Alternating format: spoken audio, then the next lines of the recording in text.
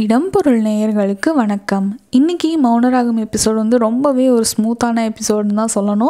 வருண் சத்யாக்குள்ளே அந்த அவங்களோட கெமிஸ்ட்ரி வந்து வேறு லெவலில் போயிட்டுருக்கு. இப்போது வர வர வந்து ரொம்பவே காதல் வழிகிற அளவுக்கு வந்து ரெண்டு பேரும் வந்து இப்போ தான் ஒன்னோட ஒன்றா ஒட்டார ஆரம்பிக்கிறாங்க.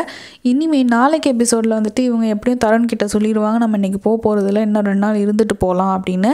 அவங்க உடனே வந்து ஏன்டா? அப்படின்னு கேட்டால் அதில் கொஞ்ச நாள் இருந்துட்டு போகலாமே ஊருக்கு போனால் டென்ஷன் ஆகும். அது இது இருக்கும். அப்படின்னு சொல்லி அவங்கள உட்கார வச்சுருவாங்க. அப்புறம் எப்பவும் போல் வருணும் சத்யாவும் வெளியில் போய் அவங்களுக்கான ஒரு ரொமான்டிக்கான ஒரு சீன்ஸ்லாம் வரப்போகுதுன்னு தான் நினைக்கிறேன். வருண் வந்து சத்யாவுக்கு முத்தம் கொடுக்குற மாதிரி கட்டி பிடிக்கிற மாதிரி அந்த மாதிரி சீன்ஸ்லாம் நாளைக்கு எதிர்பார்க்கலாம்.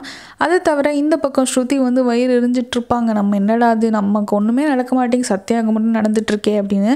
அதே மாதிரி அந்த பக்கம் ஷீலா வந்துட்டு ஸ்ருதியை எப்படியாவது அந்த வீட்டுக்கு கொண்டு வந்துடணும் அப்படின்னு சொல்லி இப்போவே அதுக்கான வேலைகள்லாம் ஆரம்பிச்சிருப்பாங்களோ அப்படின்னு தோணுது எனக்கு. இதை தவிர வேறு ஏதாவது இன்ட்ரெஸ்டிங்காக நடக்கும்னு நினச்சிங்கன்னா கீழே கமெண்ட் பாக்ஸை சொல்லுங்கள் மறக்காமல் சப்ஸ்கிரைபும் பண்ணிடுங்க